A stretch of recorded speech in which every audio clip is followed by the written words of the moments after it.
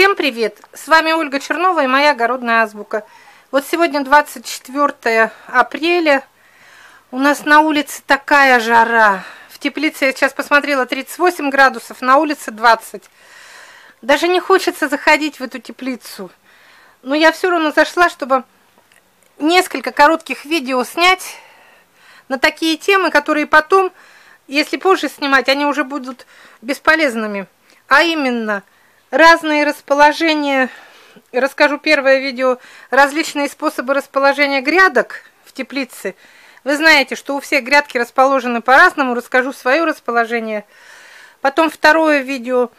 Какие места в теплице для безопасности во время заморозков нужно высаживать, засаживать в первую очередь. Потом расскажу, как получить ранний урожай с, ну, с примерами покажу, как вырастает в большом грунте и в маленьком. Вот начну все по порядку. Сейчас вот это видео будет посвящено только схеме расположения грядок. Так, как всегда я со своей бумажкой. У меня грядки расположены вот так. Сейчас этих дорожек не видно, и многие люди спрашивают, вот вы идете по центральной дорожке, а как вы попадаете сюда? Здесь у меня с обоих сторон есть технический проход. Сейчас я вам его покажу. Вот видите, сначала идут две, потом раз, вот эта дорожка. И по этой дорожке я захожу в следующую, в разрез вот в такой, и пошла. У меня слева и справа томаты, но правой стороны еще нет, потому что может быть, еще будет холодно. Я правую не засаживаю, засаживаю только центральную. Вот. Тут томатики уже посажены. Они вот в углубленных луночках.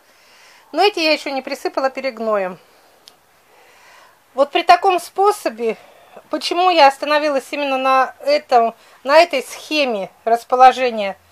Мне удобно, что я подхожу, у меня направо могу обработать, налево могу обработать. И центральная немножко пошире. Сейчас я покажу размеры. По теплице, когда ходишь, этого не понять. А так вот у меня центральная дорожка 60 сантиметров. Она очень широкая. По ней я таскаю шланги, потому что мы капельным поливом еще не пользуемся. По старинке поливаем из шланга. Потом вот эта вот правая половина дорожка 40 сантиметров.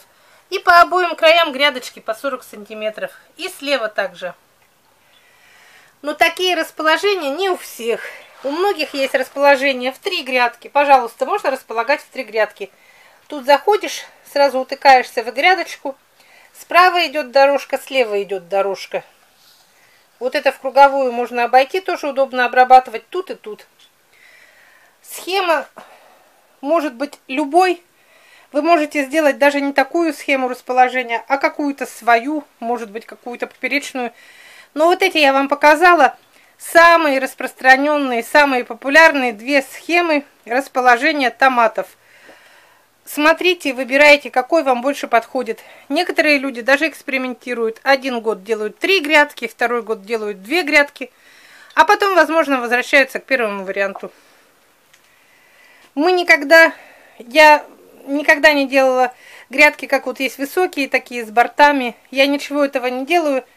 Мы каждую весну просто перекапываем теплицу. У нас обыкновенная дорожка, земляная же, из этого же грунта. И мы обходимся этим.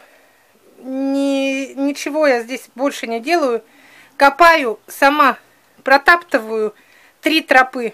И все. Вот эта схема расположения в моей теплице. Размеры я назвала. Основная дорога 60, две боковые по 40 до свидания. Вот это был коротышка видеоролик о самых популярных схемах расположения грядок в теплице.